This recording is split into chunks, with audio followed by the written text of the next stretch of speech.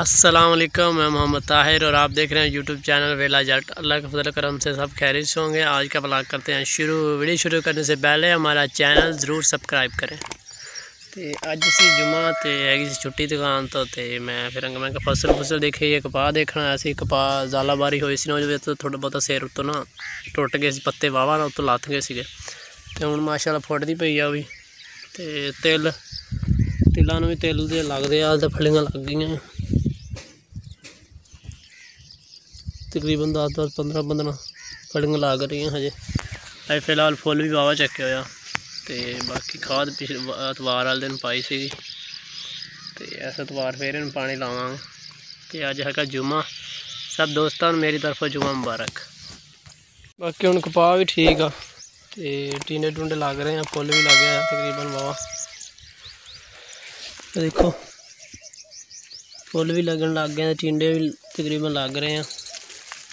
ਬਾਕੀ ਮਾਸ਼ਾਅੱਲਾ ਕਪਾਹ ਠੀਕ ਆ, ਅੱਲਾ ਬਰਕਤ ਪਾਏਗਾ। ਜ਼ਿੰਦਗੀ ਰਹੀ ਤਾਂ ਤੈਨੂੰ ਬੰਗਲੇ ਬਣਾ ਦੂੰ, ਹਜੇ ਯਾਰ ਤੇਰਾ ਬੇਰੋਜ਼ਗਾਰ ਸੋਹਣੀਏ ਜ਼ਿੰਦਗੀ ਰਹੀ ਤਾਂ ਤੈਨੂੰ ਸੋਨੇ 'ਚ ਮੜਾ ਦੂੰ, ਹਜੇ ਯਾਰ ਤੇਰਾ ਬੇਰੋਜ਼ਗਾਰ ਗੋਰੀਏ ਜ਼ਿੰਦਗੀ ਰਹੀ ਤਾਂ ਪੂਰੀ ਦੁਨੀਆ ਕਮਾ ਦੂੰ, ਹਜੇ ਯਾਰ ਤੇਰਾ ਬੇਰੋਜ਼ਗਾਰ ਸੋਹਣੀਏ ਦੱਸਿਓ ਵੀਵਰੋ ਤੇ ਮੇਰੀ ਵਾਈਸ ਕਿਵੇਂ ਆ? ਗਾਣਾ ਕਿਵੇਂ ਮੇਰੀ ਵਾਈਸ ਤੋਂ ਅੱਛਾ ਲੱਗਦਾ ਜਾਂ ਨਹੀਂ ਲੱਗਦਾ? ਹੁਣ ਮੈਂ ਆ ਗਿਆ ਅੰਬ ਥੱਲੇ ਆਪਦੇ। ਇਹ ਅੰਬ ਹੈ ਚਾਰੀ। ਇਹ ਆ ਚਾਰੀ ਅੰਬਾ ਤੇ ਕੱਚੇ ਆ ਹਜੇ। ਤੇ ਪੱਕ ਵੀ ਜਾਂਦੇ ਆ। ਤੇ ਉਹ ਤਾਂ ਹੈਗੇ ਆ ਹਜੇ ਨਾ ਕੋਈ ਥੋੜੇ ਆ ਇਸ ਵਾਰ ਲੱਗੇ ਆ, ਪਤਾ ਨਹੀਂ ਕੀ ਮਸਲਾ ਆ ਤੇ ਬਾਕੀ ਕਪਾਹ ਵੀ ਮਾਸ਼ਾਅੱਲਾ ਸਹੀ ਆ। ਤੇ ਆ ਅੰਬ ਹੈਗਾ ਸਾਡਾ ਮਿੱਠਾ। ਉਹ ਸੀਗਾ ਚਾਰੀ। ਮਾਸ਼ਾਅੱਲਾ ਅੰਬੇ ਨੂੰ ਵਾਵਾ ਲੱਗੇ ਹੋਏ ਆ ਤੇ ਕੁਛ ਨੇਰੀ ਨਾਲ ਵਾਵਾ ਝਾੜ ਵੀ ਗਏ ਆ। ਤੇ ਹੈਗਾ ਫਾਲਸਾ। ਫਲਸੇ ਤਕਰੀਬਨ ਹੁਣ ਮੁੱਕ ਗਏ ਆ।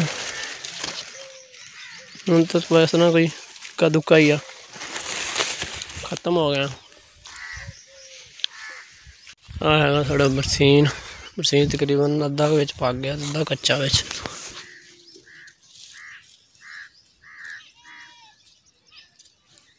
ਵਿੱਚ ਹਜੇ ਡੋਡੀਆਂ ਕੱਚੀਆਂ ਆ ਤੇ ਵਿੱਚ ਸਹੀ ਆ।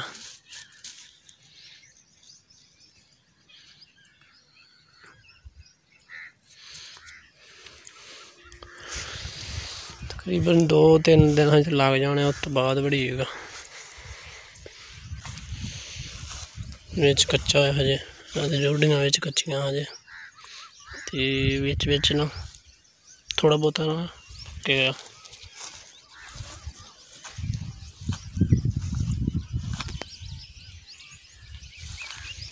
ਆ ਗਿਆ ਘਰ। ਤੇ ਹੁਣ ਵੀਡੀਓ ਐਡੀਟਿੰਗ ਕਰਦੇ ਆ ਐਡਿਟ ਕਰਨ ਤੋਂ ਬਾਅਦ ਅਪਲੋਡ ਕਰਦੇ ਆ ਅਗਰ ਮੇਰੀ ਵੀਡੀਓ ਅੱਛੀ ਲੱਗੇ ਤਾਂ ਮੇਰਾ ਚੈਨਲ ਜ਼ਰੂਰ ਸਬਸਕ੍ਰਾਈਬ ਕਰਿਓ ਤੇ ਮਿਲਦੇ ਆ ਇੱਕ ਨਵੀਂ ਵੀਡੀਓ ਨਾਲ। ਤਬ ਤੱਕ ਕੇ ਲਈ ਅੱਲਾਹ